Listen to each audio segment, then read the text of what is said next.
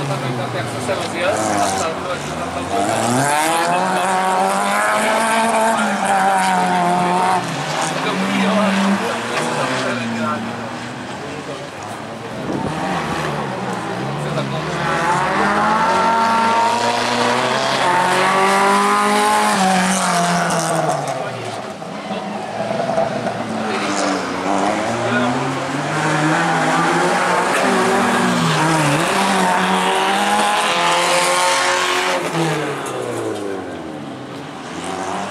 Wow.